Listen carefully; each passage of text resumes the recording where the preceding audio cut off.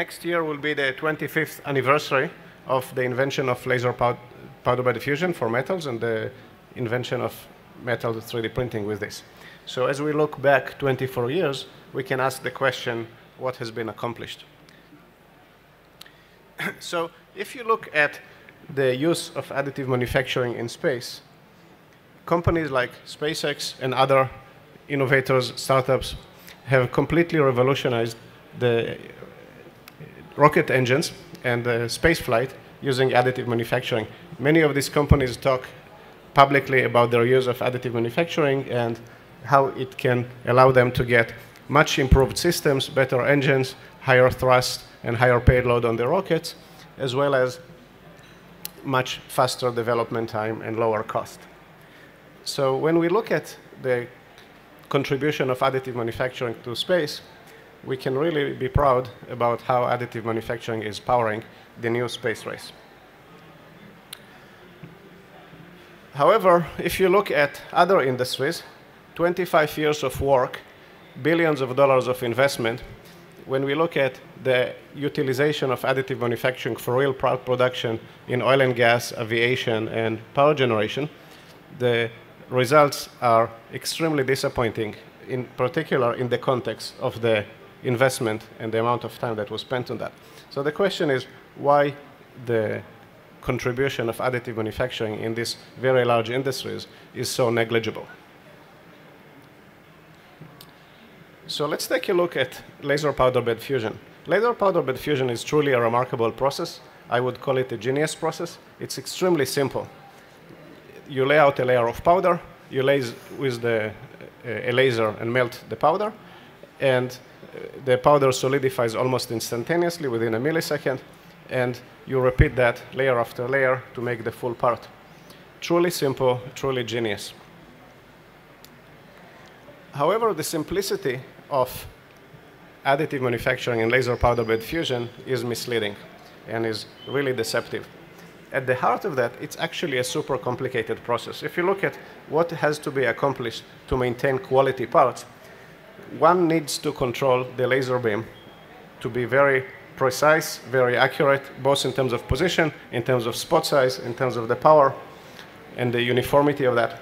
The gas flow is already known to be a super critical component of the process and has to be very consistent over time and very uniform. The powder bed has to be consistent and uniform, and both in terms of composition, density, and uh, morphology. And then we have to uh, watch contamination, water, oxygen, and other species. And the material properties can vary if any of those uh, shifts from uh, nominal uh, uh, values. The most depressing thing, however, is that even if we do all these things right, the geometry of the part varies. We are not building one cube of consistent material. We are building complex geometries. And the thing is that if you apply the same process everywhere, outcomes will vary because the geometry affects the outcome. There are local effects of the geometry that actually interact with the process. So when you look at this, it's actually pretty depressing picture in terms of complexity. How can you get accurate and consistent outcomes with such a complicated process? The good news, we have seen this in the past. And where we have seen that? We have seen that in semiconductors. So let's think for a second about semiconductors. If you talk about, if you look at a processor, a typical processor will have about 100 steps, 100 layers of production that can take between three and five months from beginning to end. And it will have billions of devices that all have to work perfectly in order for the chip to work. So if you think about that, hundreds of steps, billions of devices, a few months of processing from beginning to end. How do we even have a chance to make a single chip work, not to mention make chips at 95% yield? How do they do that? The answer is local quality control. So when you look at semiconductor, and I spent a good few years in semiconductor, the way we used to control quality in semiconductor is at every step of the process, you monitor the process between 10 to 20 to 30 different metrology tools and different metrology techniques that validate in every stage of the process that the process is completely controlled and there is no single excursion in one of multiple variables that can cause the chips that are made in this lot to be defective.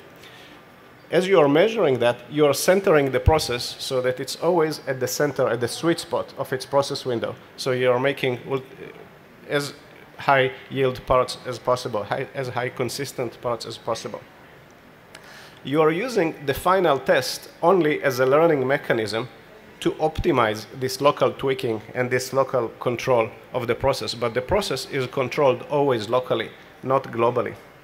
If you look at this in contrast, and you think of how do we control quality today in additive manufacturing, we really do quality control the, the way you used to do quality control in the casting age. You take tensile bars, you pull on them, and you hope that if the results of the tensile bar are consistent, the parts that you are making are inconsistent. But if you think about this with the complexity of the process, this is not going to cut it. And the results actually show that. the good news is that it doesn't have to be that bad. Additive manufacturing at its heart is a digital process. As a digital process, we can measure anything that we like, and we can change anything that we like we, if we apply the right metrology and the right sensors, we can monitor as we go everything that can cause the process to deviate and to fail, and we can make sure that the process is always at the center of its process window, it's always at its sweetest spot, and it's always as stable as possible this is not a trivial task. I'm not claiming for a second it's trivial task, but we have been shown the way in semiconductor, and we can take the methodology that was applied in semiconductor and apply that in additive manufacturing. This is not a theoretical exercise. We have a product that is doing exactly that, and it is being tested right now by beta customers. So, quality is a big challenge, and in the absence of high quality control, it will be very difficult to use additive manufacturing as a real production technology for mission critical applications like aviation, oil and gas, and power generation. So now that we have an understanding of what the methodology that we need to apply to use additive manufacturing in production and tight quality control, we can ask the question, how do we go from here? How do we actually apply that? So we have products that are coming Velo3D has one. There are other people that are developing such products. How do we apply those products and perfect them? Because one thing is clear. These products are not going to be good and not going to be totally perfect from day one. As we are going to build parts and as we are going to manufacture, we are going to learn about failure modes and we are going to continue to be surprised and we are going to tighten the quality control and tighten the manufacturing quality to be better and better. So how do we do this? How do we actually deploy this technology to make quality parts? There is no shortcut for that. What I mean by there is no shortcuts, the only way to get this manufacturing technology to be production ready and to be quality that is desired for these mission critical uh, applications is to actually do production and to actually get it better and better. So what will be the parts that we can start with low risk and with minimum investment exercise the technology in production setting and perfect that. So the ultimate parts for those are direct parts replacement. And what I mean by direct part replacement are parts that are already in circulation and are already in production by other methods. These are parts that were designed to be cast, welded, machined and welded, machine and brazed, you name it but they're already in production.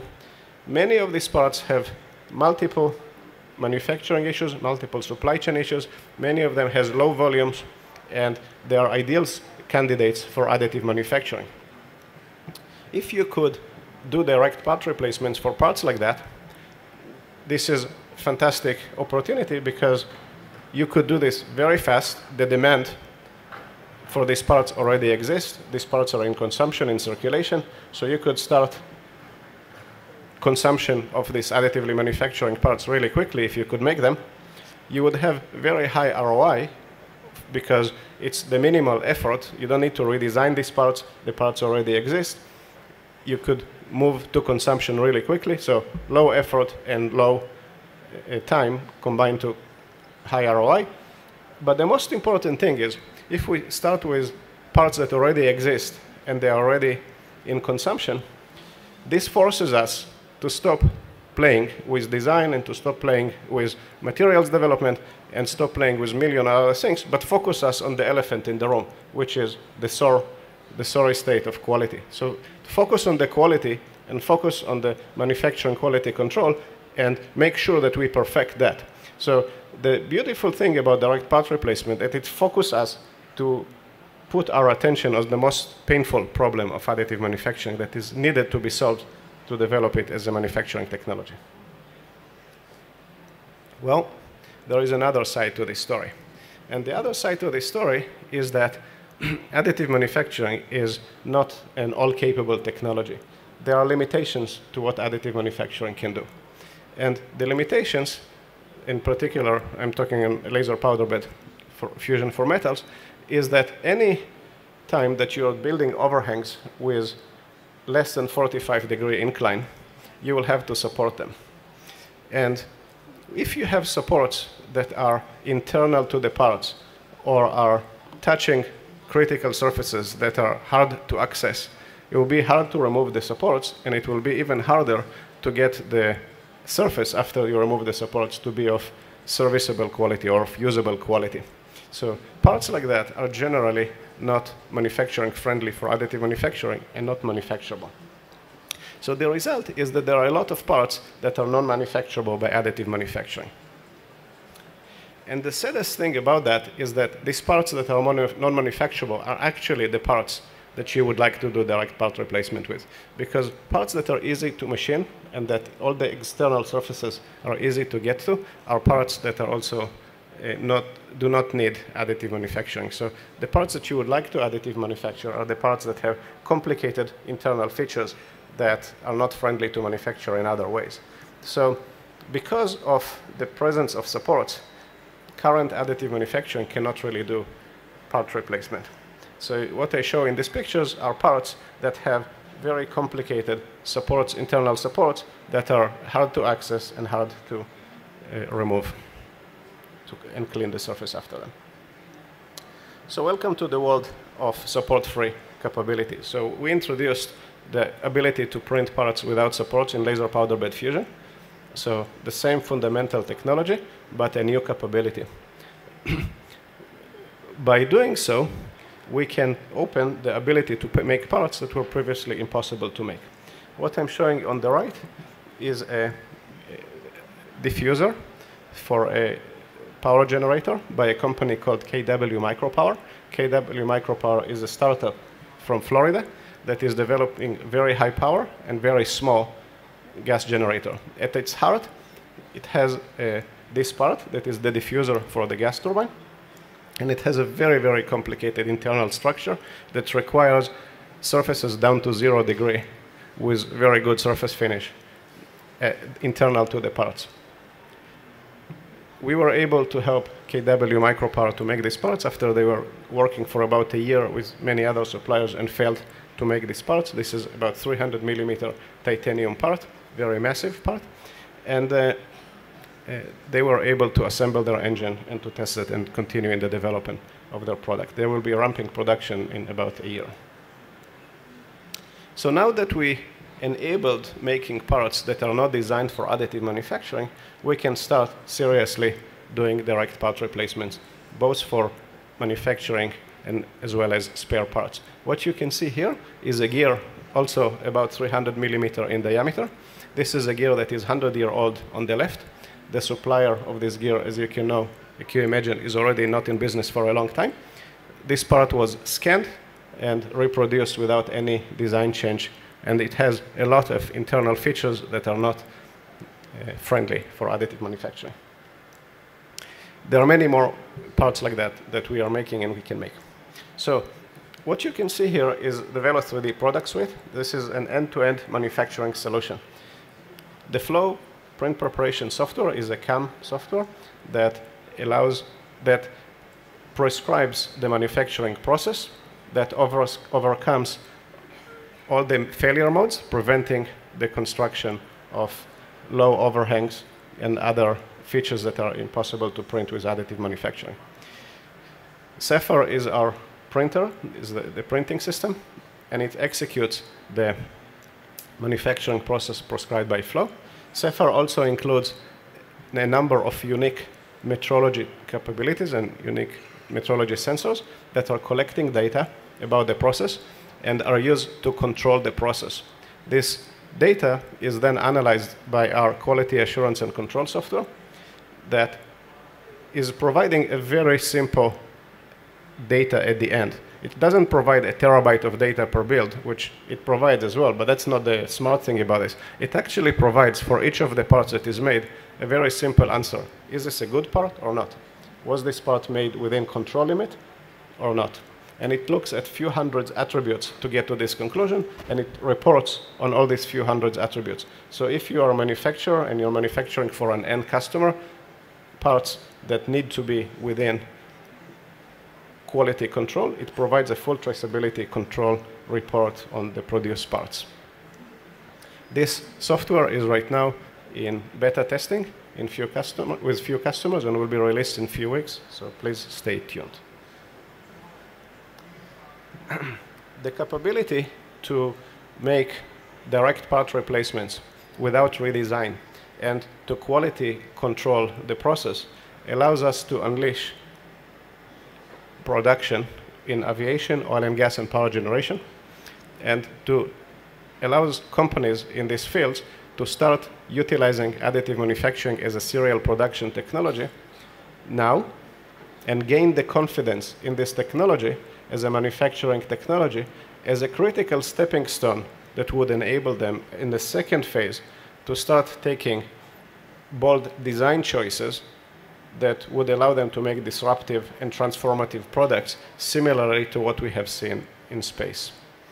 So in the next, we have a good number of customers that are now in validation phases of transform, uh, transitioning parts that are uh, legacy parts to additive manufacturing. And we are going to see over the next years the, over the next two years, an avalanche of companies in aviation, oil and gas, and power generation that are moving to serial production with additive manufacturing of legacy parts that were produced in other technologies. So, welcome to the future. The future is here. Thank you.